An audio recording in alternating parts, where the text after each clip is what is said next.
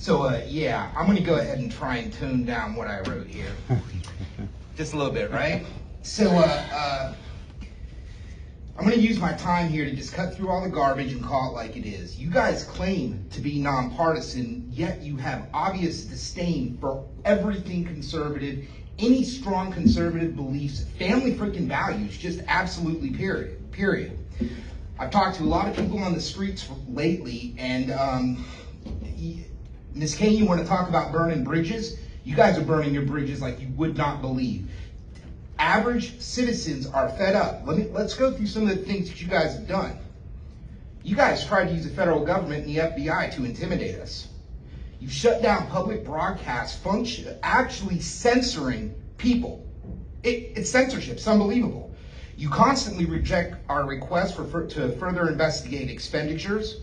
Um,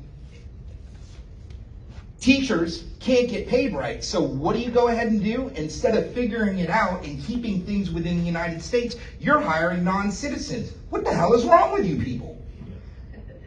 It's, it's, it's unbelievable. This contract you guys are now signing on to, I'm going to tell you right now, you do not have my consent to use my kids as guinea pigs. You do not have my consent to collect, hold, share data.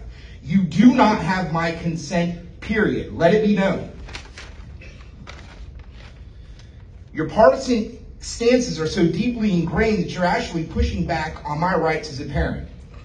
I've read and reread House Bill 1557 trying uh, multiple times, trying to understand how anyone can stand against it. It simply would require that, uh, those representing the school board to adopt procedures to reinforce the fundamental rights of parents and allow us parents to make decisions regarding the upbringing of our children. That's a good thing. It requires that you, our public schools, to notify and to stop discouraging parental involvement in critical decisions. Again, what's your issue?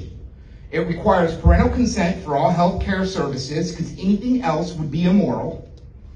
And despite the lies, if you actually read the bill, it's obvious that it has nothing to do with being gay or being straight. It simply requires that you stop inappropriate discussion with extremely young children. Mm-hmm.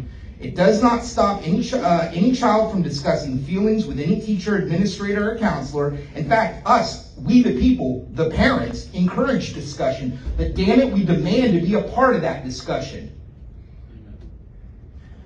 Now, it, it's got to be pretty hard to argue with a bill that is so pro parent without declaring that you're a complete totalitarian who believes that my children, all children, belong to the state. So, what is it? Do you hate our constitutional republic? Our next speaker is Alexander.